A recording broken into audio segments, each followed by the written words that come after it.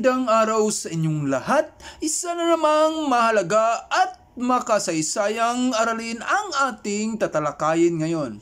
Ito ay ang pamahalaang pampolitika sa pamalaang lokal.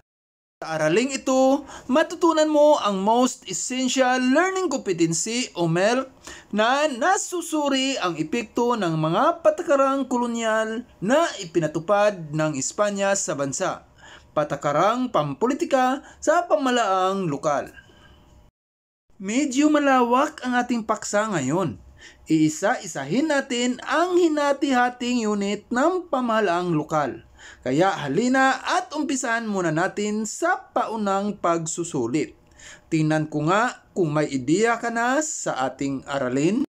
Panoto. Tukuyin ang salitang bibigyang kahulugan sa sumusunod na pangusap. Isulat ang sagot sa inyong kwaderno. Una, ang barangay pueblo ay ang pinakamaliit na unit ng pamalaang lokal na pinanatili noong panahon ng Espanyol.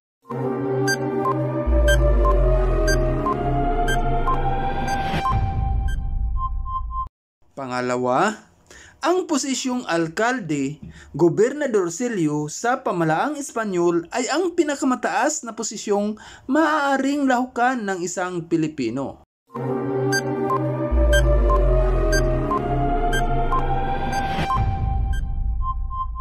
Pangatlo, ang barangay o pueblo ay isang unit ng pamalaang lokal na pinamumunuan ng isang kabisa de barangay.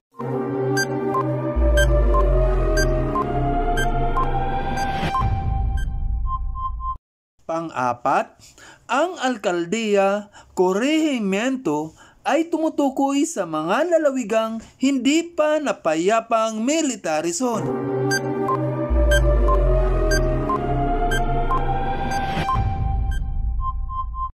At panglima, ang syudad, korehimiento ay binubuo ng mga pueblo o mga bayang may mga malalaking populasyon na aktibo sa politika, kabuhayan at kalinangan.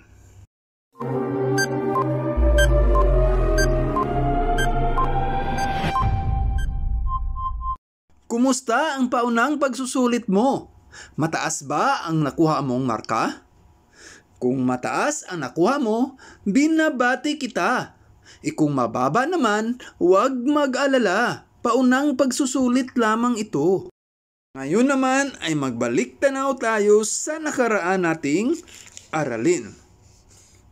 Panoto, buuin ang mga ginulong letra batay sa tinutukoy ng bawat pangungusap. Una, pinakamataas at pinakamakapangyarihang opisyal na hinirang ng hari ng Espanya bilang kinatawan sa bansa.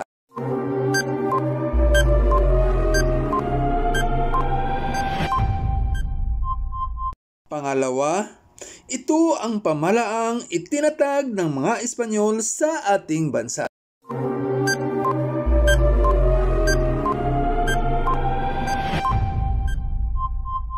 Pangatlo, siya ang kauna-unahang naging gobernador general sa bansa.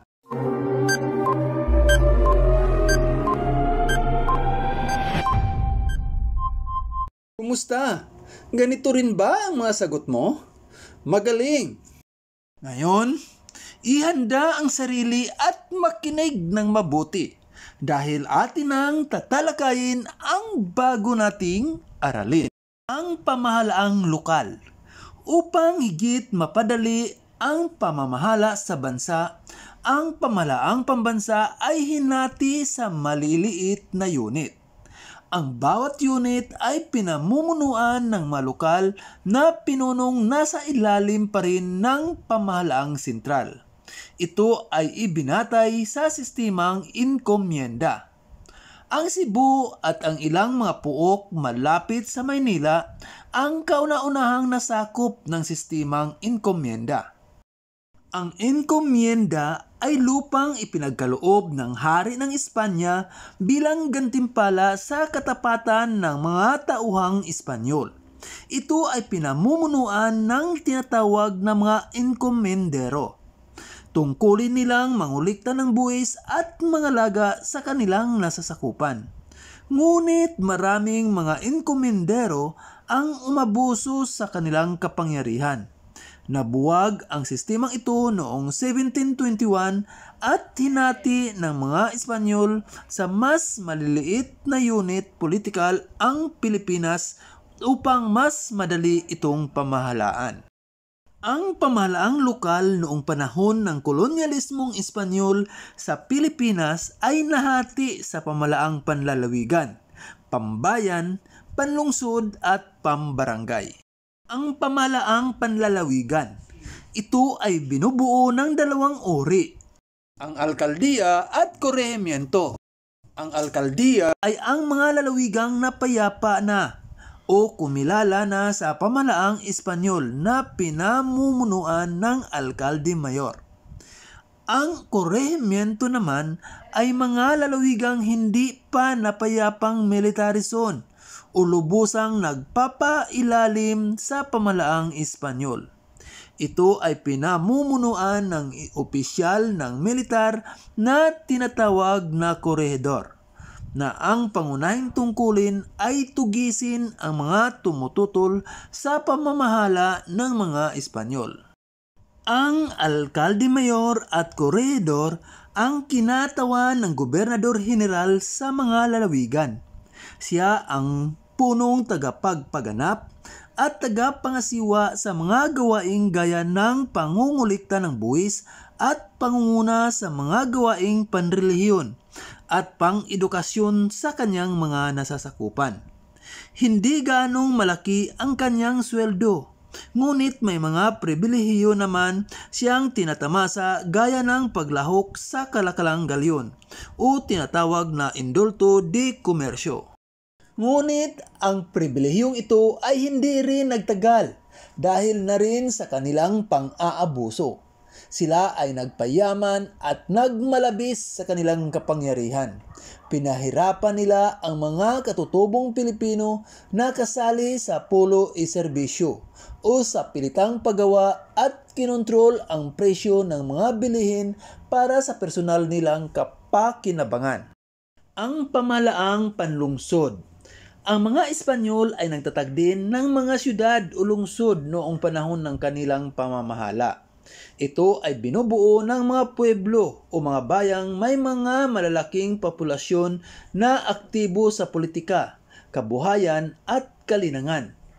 Ang pamalaan dito ay tinatawag na ayuntamento na pinamumunuan ng alkalde kasama ang apat hanggang labindalawang rehedores o konsihal, isang eskribano o kalihim at isang akwasel o pulis. Ito ang naging sentro ng kalakalan, edukasyon at iba pang gawain. Ang ayuntamiento ay hindi sakop ng pamalaang panlalawigan sapagkat ito ay may sariling charter na nagtatadhana ng sariling patakaran at paraan ng pamamahala. Tungkulin nilang maningil ng buwis at panatilihin ang kapayapaan sa kanilang nasasakupan. Ang mga halimbawa nito ay ang Cebu, dating tinatawag na Santissimo Nombre de Jesus, Cagayan o Nueva Sigubia, Camarines o Nueva Caceres, at Maynila. Ang pamalaang pambayan, nahati sa mas maliliit na unit politikal ang mga lalawigan noong panahon ng Espanyol. Ito ay binubuo ng ilang pueblo o bayang pinamumunuan ng isang gobernador selyo na dapat dapat 25 taong gulang man lang at naging tenyente mayor o kabisa di barangay. Ito ang pinakamataas na posisyon sa pamalaang kolonyalismo na maaring hawakan ng mga Pilipino. Isa na dito si Carlos Aguinaldo na ama ni Emilio Aguinaldo sa mga nakahawak ng posisyon. Tungkulin niyang maghanda ng padron o listahan ng mga sisingilin ng tributo o buwis, kumalap ng mga manggagawa para sa pulo e serbisyo, gumawa sa mga gawaing pang-imprastruktura at mga kento o sa pilitang paglilingkod sa pamalaang Espanyol o military conscription clerk at hukom sa maliliit na kasong sibil. Kabilang din sa kanyang ginagawa ang pangangalaga ng kalinisan at kaayusan ng kasa tribunal. Ito ay isang gusaling tinutuluyan ng mga bisita at manlalakbay sa kanilang bayan. Noong una, ang Gobernador Silio ay inihahalal ng mayayamang lalaki upang manungkulan ng isang taon. Ngunit nang lumaon, ito ay nabago. Isang lupong binubuo ng labindalawang kabisa di barangay ang naghahalal ng bagong Gobernador Celio. Ang kanyang mga pribilehiyong tinatamasa ay ang hindi pagbabayad ng buwis at hindi paglahok sa pulo iserbisyo o sa pitang paggawa. Ang pamalaang pambarangay. Ang barangay ay pinanatili na pinakamaliit na unit ng pamalaang lokal noong panahon ng Espanyol. Ito ay nagmula sa hinati-hating pueblo o bayan na pinamumunuan ng kabisa di barangay na karaniwang mga dating dato o kamag-anak ng dato. Paniningil ng buwis ang kanyang pangunahing tungkulin. Wala siyang sweldo, bagamat mayroon siyang mga pribilehiyo katulad ng mapabilang sa pangkat ng prinsipalya o aristokrasya, sila ang mga punungahing tao sa bayan kasama ng Gobernador Silio. Hindi pagbabayad ng buwis at hindi rin kabilang sa pulo o sa pilitang paggawa. Sa edad na 17 taon, si Emilio Aguinaldo ang isa sa pinakabatang naging kabisa di barangay. Bagamat labag sa batas ang kanyang panunungkulan, hindi ito naging hadlang dahil sa impluensya ng kanyang pamilya. Epekto ng patakarang pampolitika na ipinatupad ng mga Espanyol sa Pilipinas. Malaki ang naging epekto ng pagbabago ng kalagayang politikal ng bansa sa mga Pilipino sa panahong kolonyal. Naging mahirap ang pagsunod sa batas at mga patakarang ipinatutupad ng madayuhan. Naging mapang-abuso ang mga opisyal na Espanyol at hindi naging pantay ang pagtrato sa mga katutubo. Hindi rin pinagkakatiwalaan ang mga Pilipino sa matataas na posisyon sa pamalaan sa takot na magdulot lamang ito ng problema sa pamalaang Espanyol. Sa huli, ang mga Pilipino ay naging mga tagasunod lamang sa sariling lupain na pinamumunuan ng mga banyaga. Ngayong natalakay na natin ang ating aralin, bibigyan kita ng ilang gawain para malaman ko kung may naunawaan ka ba sa ating tinalakay. Para sa unang gawain, buuin ang crossword puzzle sa pamagitan ng pagbigay ng sagot na tinutukoy sa mga sumusunod na pangungusap. Para sa pahalang bilang isa, pinakamataas na tungkuling maaring gampanan ng isang Pilipino. Sa pahalang bilang lima, pinakamaliit na unit ng pamahalaan. Pababa bilang dalawa, ito ay mga lalawigang hindi palubos na napasuko ng mga Espanyol na pinamumunuan ng korehedor. Pababa sa bilang tatlo, ang tawag sa pamalaang pinamumunuan ng alkalde at mga konsihal. At sa bilang apat na pababa, lupang ipinagaloob ng hari ng Espanya bilang gantimpala sa katapatan ng mga tauhang Espanya.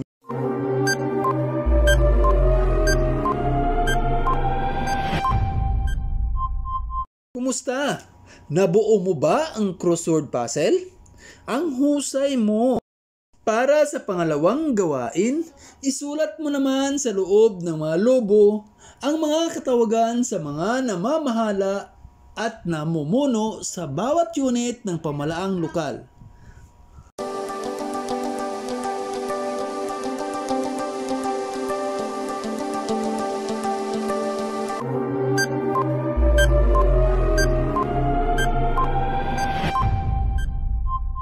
Kumusta? Naisulat mo ba ang mga katawagan sa mga namamahala? Wow! Ang galing mo talaga!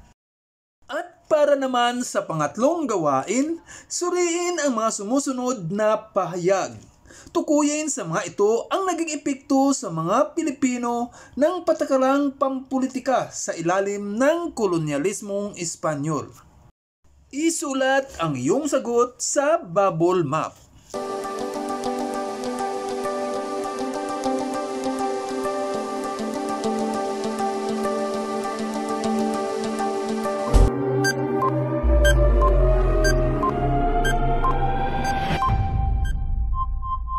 Kumusta? Nahirapan ka ba? Pero nagawa mo, di ba? Kasi magaling ka. Upang madali at lubos mong maunawaan ang ating aralin, tingnan at araling mabuti ang graphic organizer.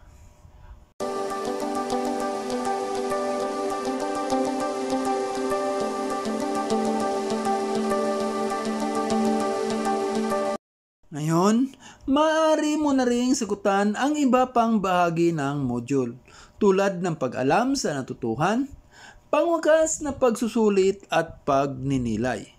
Muli, ito si Maestro Todeo na laging nagsasabi mag-aral ng mabuti sa pagkakaroon ng magandang kinabukasan, iyan ang susi. Maraming salamat, ingat kayong lahat.